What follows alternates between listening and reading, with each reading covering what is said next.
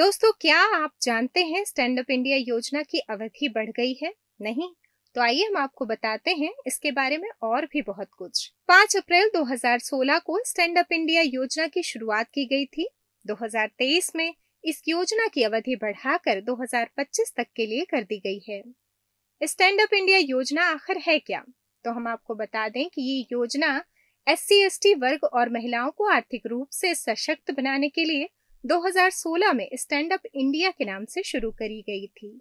इस योजना के अंतर्गत किसी भी बैंक में कम से कम किसी एक एस सी वर्ग के उधारकर्ता या महिला उधारकर्ता को 10 लाख से एक करोड़ तक का ऋण प्रदान करना होता है। इस योजना का लक्ष्य सभी बैंक शाखाओं को ऋण प्रदान करने हेतु प्रोत्साहित करना है। अगर आप एस सी वर्ग से या महिला हैं तो आप किसी भी बैंक शाखा में जाके या सीधे स्टैंड अप इंडिया के पोर्टल पे जाकर ऋण के लिए अप्लाई कर सकते हैं या इस योजना का लाभ उठा सकते हैं। अब आइए आपको बताते हैं योजना का लाभ उठाने के नियम क्या क्या हैं। इस योजना का लाभ उठाने के लिए आपको 18 वर्ष या उससे अधिक की आयु का होना अति आवश्यक है। योजना के अंतर्गत ऋण केवल ग्रीन फ़ील्ड परियोजनाओं के लिए उपलब्ध है। व्यापार, कृषि या निर्माण के क्षेत्र से संबंधित गतिविधियों का उपक्रम है।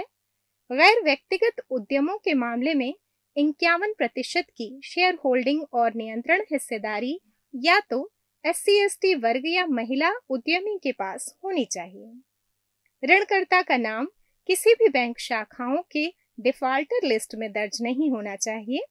किसी भी स्थिति में ऋणकर्ता को परियोजना लागत का कम से कम 10 प्रतिशत अपने योगदान के रूप में भुगतान करना होगा। इस योजना के अंतर्गत पिछले सात सालों में एक लाख अस्सी हज़ार छह सौ चौतीस खातों में चालीस हज़ार सात सौ दस करोड़ रुपए तक की राशि स्वीकृत की गई है। अस्सी प्रतिशत से अधिक महिलाओं ने इस योजना का लाभ उठा लिया है।